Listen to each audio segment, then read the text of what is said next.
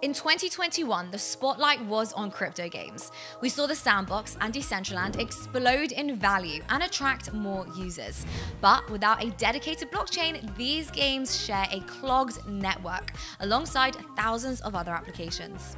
Arbitrum Nova aims to solve that issue by providing a fast blockchain tailor-made for gaming and social projects. So, what is Arbitrum Nova and how does this new blockchain aim to revolutionize Reddit's community points system.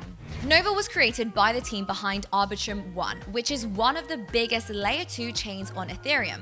Arbitrum One lowers transaction costs while still maintaining the security of Ethereum. Arbitrum Nova sacrifices part of its security to lower its costs even further while increasing its transaction speed. This makes it a perfect fit for gaming and social projects that have high transaction volumes but lower cash values at stake. Nova achieves lower transaction costs by storing transaction data off chain. A data availability committee of trustworthy parties will store the transaction data and provide it to others on demand. This eliminates the need to put the data on the Ethereum blockchain. As a user, the Arbitrum Bridge allows you to bridge from Ethereum to Nova and to actually connect to integrated applications like the Sushi DEX, which was actually one of the very first to build on Arbitrum. And thanks to Arbitrum, the spirit of Web3 is coming to Reddit. Reddit community points are a way for Redditors to own a piece of their favorite communities, partake in their ownership, and spend points on premium features.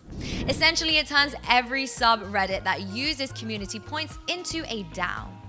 You earn these points by being active in your specific subreddit. Since these points are represented on the blockchain as tokens, there's now a financial reward for contributing to your Reddit community. For example, here's the token for the cryptocurrency subreddit. While community points initially ran on Ethereum, subreddit has chosen Arbitrum Nova as their blockchain of choice. Major games contain thousands of interactions that update the player's inventory, stats, and so on. These are represented by transactions on the blockchain to update the player's profile.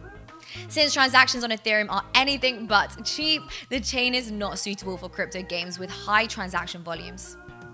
Even some layer 2 solutions like Arbitrum One or Optimism reach unrealistic prices during congested periods. A reliable solution is required to ensure crypto games don't face avoidable downtime due to a congested network. Significantly, the sandbox began its migration to Polygon recently for its land and sand tokens. In the future, we're likely to see more projects move on to dedicated gaming blockchains, helping the world of GameFi to truly level up. Thanks for watching everyone. We've got a lot more videos for you, so click any of these videos so you can keep watching. And don't forget to like if you liked it and sub if you dug it.